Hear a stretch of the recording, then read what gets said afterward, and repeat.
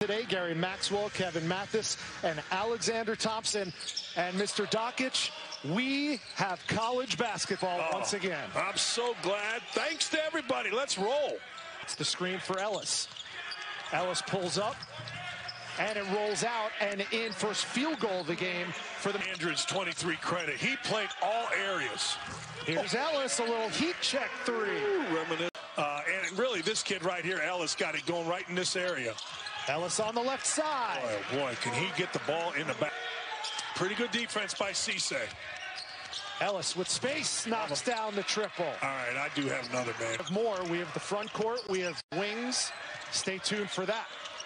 Here's Ellis, deep three, Why not? bounces up and in. That's a layup for Tass or a big guy that can shoot in college hoops. Matthias Tass has a game high eight for St. Mary's.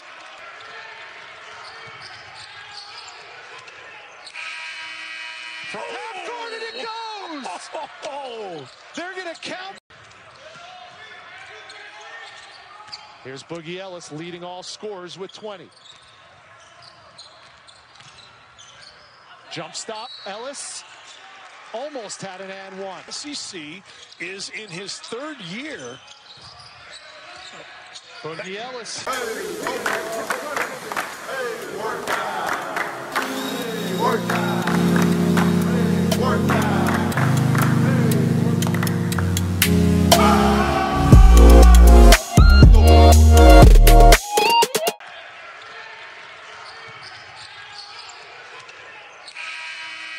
Half court and it goes.